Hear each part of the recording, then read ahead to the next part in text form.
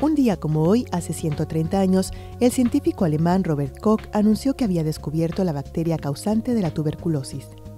En recuerdo de aquella fecha, el 24 de marzo es el Día Mundial de la Tuberculosis, una jornada que trata de llamar la atención sobre esta enfermedad que se puede prevenir y curar, pero que en 2010 mató a cerca de un millón y medio de personas. La tuberculosis es contagiosa y se transmite por el aire a través de la tos, el estornudo o al hablar. Las personas más pobres y malnutridas y los enfermos de SIDA son sus principales víctimas. Un tercio de la población mundial está infectada con el bacilo de la tuberculosis y entre el 5 y el 10% desarrollarán la enfermedad a lo largo de su vida.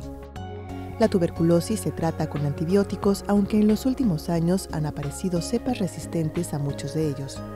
Vencer esas resistencias, avanzar en el diagnóstico precoz, en especial en niños, y asegurar el cumplimiento de los tratamientos son parte del Plan Mundial para detener la tuberculosis, una estrategia con la que la OMS pretende reducir la mortalidad por tuberculosis a la mitad en 2015.